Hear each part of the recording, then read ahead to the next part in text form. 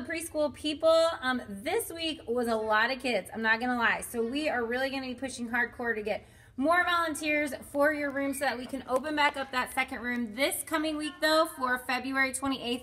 We will just continue to plan on being all in one room.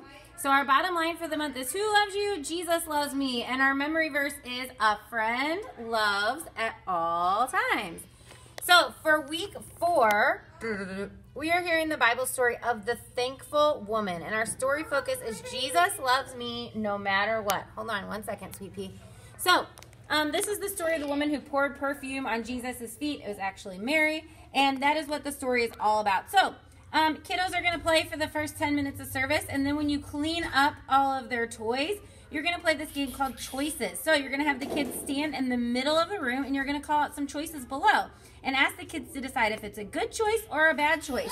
And here on the wall, we have a thumbs up. Oh, can you guys go out there really quick because I'm making this video. Or a thumbs down. So they will move to the thumbs up for a good choice or the thumbs down for a bad choice. So some of your choices, brushing teeth, not picking up your toys, arguing with your sibling. And you're just to say, friends, today we're going to talk about good choices and bad choices. So there's two pictures on the wall. And I'm going to say a choice. If it's a good choice, you'll run to the thumbs up. Bad choice, thumbs down. And then you will go through the choices and say, good job, friends. We all make good choices and bad choices, but someone special loves us no matter what choices we make. And we're going to hear about that in our Bible story today. Then you will head out to large group at 20 after, where you will hear the story of the thankful woman. Lola, can you get off that for a second? Okay, so then when you get back to your room, actually, on the way back to your room, we have a field trip. Hi, Ashley. Hi. Hi. Okay. So as you leave the large group area, you're going to take a field trip down this hallway. And here you're going to look for places to go. So taped along the walls here, we have the playground, we have the grocery store, we have school, and last but not least, we have the dentist. So there are four places to go that are taped along this hallway. Hey, Outman girls, little cameo in our video. So you'll hit those on your way back from large group.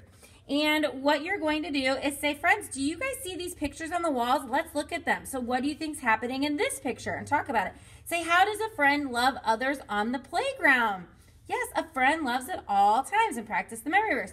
Then let's go to the next picture and you'll go to the next place. Everywhere we go, no matter what we do, we need to remember that a friend loves at all times. So at school, at the grocery store, at the playground, all those places, you're just going to practice stopping at those four places and doing a friend loves at all times. Okay, then the next activity is called good choices, bad choices. So it says that you're going to have a piece of butcher paper, and instead of doing that, what I thought is there's eight little pictures that are either a good choice or a bad choice. And you can have all the kiddos sit down, and I thought we could just hang them either along there with tape or along here as you talk about them and just hang them up along the wall or even along a table instead of trying to get butcher paper to hang off the wall. Oops, sorry. Let me get this. Probably making you guys want to barf with all these. Sorry. Um, so here's what you are doing for this activity. You're to lead kids in a discussion about good choices and bad choices. And as you talk about each choice, you're to show them the picture and then hang it up and ask them to name some other good choices um, that they could do along with that. So um, let's see. So it says, friends, come sit with me. We're going to make choices every day. Sometimes we make good choices, sometimes bad choices. Which is the good choice? To help a grown-up fold laundry when they ask you to or to ignore them? Yeah, it's a good choice to help you. So let's put this here to help us remember this good choice. And then you'll put a picture up of them showing good choice. So you'll go back and forth through all of them, leaving your messy bed unmade or pulling the covers up and making it.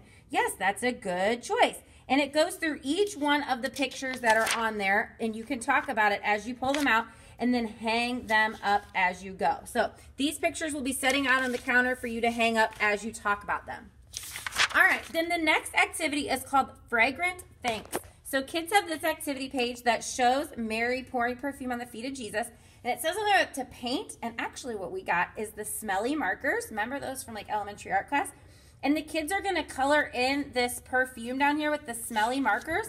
So that way they can remind their parents that she poured perfume on his feet that smelled good. And that's what they will do is they will color in that area with smelly markers. They can use one color or lots of colors, whatever it might be. So remind kids to smell it after they color it in and say that Jesus knew what the woman had done and um, and he could see how sorry she was and how much she loved him. And there's nothing that you could ever do that could stop Jesus from loving you. And then to close down the day, um, we've got a little parachute activity. So we're going to put the parachute on the floor and we're going to have some pom-poms on them that will represent Jesus's love. So some red little pom-pom balls. You're going to ask the kids to stand around the parachute with you and pick up a section of the parachute and have them shake it so their arms move very fast and say, Jesus loves us very much. So let's play with this parachute. And these little red dots represent how much Jesus loves us. And just have fun with the parachute for the end of class. And then with your time left, you can have them sit down and eat a snack and watch, rewatch their Ollie video. So that is it for February week four for our preschool room. Thank you guys for serving. You are seriously all amazing. So, so grateful for you. Love you all, and we'll see you on Sunday.